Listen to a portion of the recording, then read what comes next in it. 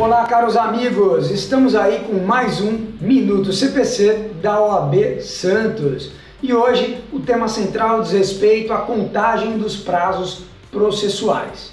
Pois bem, o artigo 219 estabelece que a, pra, os prazos processuais serão contados em dias úteis. Ora, isso já não é uma novidade, não é verdade? Afinal, já faz aí mais de dois anos da vigência do Código de Processo Civil de 2015, mas alguns cuidados ainda assim são interessantes.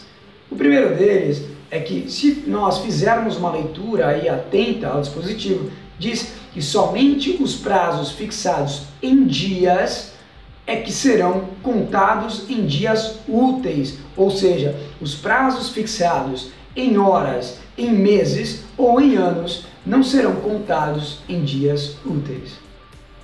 Além disso, o professor Daniel Amorim traz aí uma importante questão que diz respeito ao parágrafo único desse dispositivo.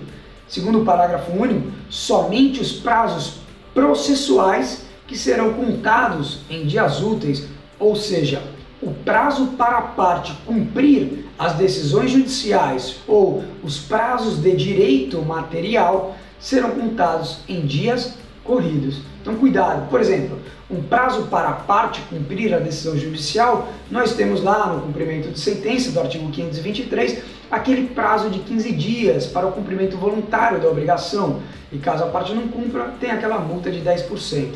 Então, como é um prazo para a parte, a prioristicamente entenderíamos contar a contagem em dias corridos. Na execução por quantia certa contra o devedor solvente, nós também teríamos o prazo aí do 829 de três dias para a parte pagar contados da citação. Então também entenderíamos a contagem em dias corridos.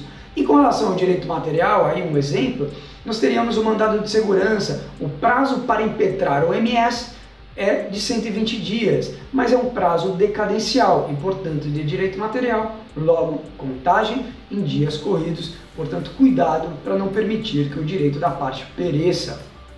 Dando continuidade, é, com relação especificamente agora ao cumprimento de sentença, veja, o STJ, pela sua quarta turma em recente julgado, agora no final de 2017, entendeu que a contagem do prazo de 15 dias para o cumprimento voluntário da obrigação deverá ser contado em dias úteis, porque se trata de um prazo de natureza dúplice, ou seja, ao mesmo tempo que é um prazo para a parte, também é um prazo que gera consequências processuais, por exemplo, a multa de 10%, por exemplo, é, a penhora de bens na sequência, e até mesmo o terminado, escoado prazo de 15 dias úteis para a parte pagar, temos, in, temos o início do prazo para impugnação ao cumprimento de sentença do artigo 525 do CPC, ok?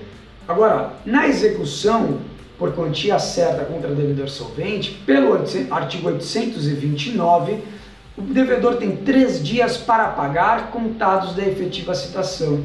Por uma questão de cautela e como ainda não há posicionamento dos tribunais superiores, é prudente que contemos o prazo em dias corridos. Mas o professor Marcos Vinícius Rios Gonçalves entende a possibilidade da contagem em dias úteis. Diante dessa controvérsia, é importante ter cuidado. Eu, particularmente, prefiro contar em dias corridos como medida de cautela. Dando continuidade, ainda falando da execução contra o devedor solvente, perceba, e agora é unânime, que o prazo inicial para o pagamento, em três dias aí, o termo inicial para o pagamento, é contado do efetivo recebimento do mandado ou da carta de citação e não da juntada do mandado e não da juntada da carta de citação do AR, ok? Então, cuidado com isso.